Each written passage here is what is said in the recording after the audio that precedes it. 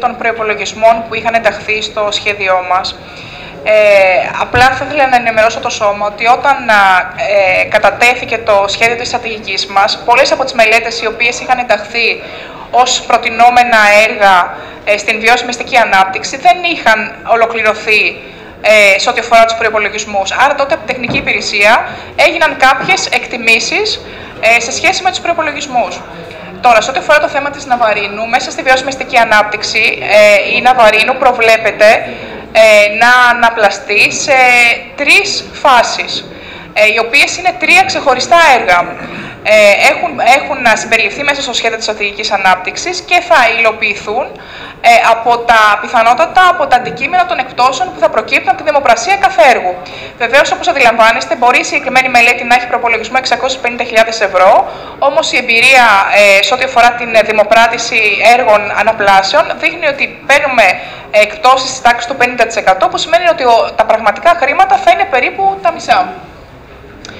Ε, σε ό,τι αφορά το ολοκληρωμένο σχέδιο ανάπτυξης ε, της Ναβαρίνου, ε, όπως ανέφερε και ο κύριος Δήμαρχος ε, προηγούμενα, κύριε Μάκαρη, ε, γνωρίζετε ότι η, περιοχή, η παραλιακή περιοχή και η περιοχή ευρύτερη του λιμανιού ε, προβλέπεται να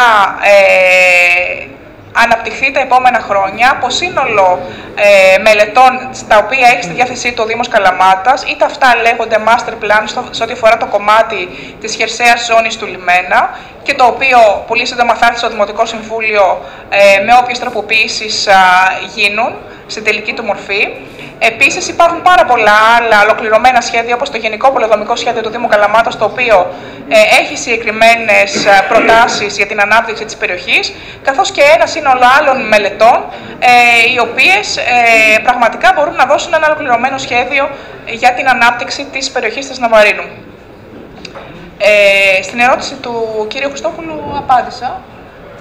Ε, για τις διαβάσεις και τους κυβόληθους. Ε, σε ό,τι φορά τις α, διαβάσεις και τους κυβόληθους, ε, νομίζω ότι είναι ένα θέμα ε, το οποίο θα, θα μπορούσα να σας απαντήσω, ο κ. Δημόπουλος, δεν είμαι πρόχειρη να σας απαντήσω. Ε, Όμως δεν νομίζω ότι υπάρχει πρόβλημα στο να μπουν λευκοί κυβόληθοι, αν αυτό είναι το αυτό που ρωτάτε. Πάντως, σε κάθε περίπτωση δεν μπορώ να σας απαντήσω. Και για τα εμποδιζόμενα άτομα και τη χρήση των κυβολήθων στι. Δεν, μπορώ να σας απαντήσω, δεν μπορώ να σας ναι. απαντήσω, δεν είμαι πρόχειρη, είναι ένα θέμα που δεν το έχω χειριστεί. Κυρία Πρόεδρε, νομίζω ότι πρέπει να πάρουμε κάποιε απαντήσει. Σε κάθε περίπτωση όμως, σε κάθε περίπτωση, επειδή ο Δήμος Καλαμάτας έχει κάνει μια πολύ μεγάλη μελέτη ε, σε ό,τι αφορά τις διαβάσεις, η οποία ε, θα δημοπρατηθεί το επόμενο χρονικό διάστημα και αφορά διαβάσεις σε όλο το Δήμο Καλαμάτας, εκεί έχουν προβλεφθεί κυβόληθοι, οι οποίοι θα είναι σε χρώμα λευκό. Άρα αυτό θα δημιουργεί και μια ομοιογένεια σε ό,τι αφορά την αντιμετώπιση των διαβάσεων στο σύνολο της πόλης. Ορίστε, έχετε άλλες ερωτήσεις; Ναι, ε, δεν μας, δεν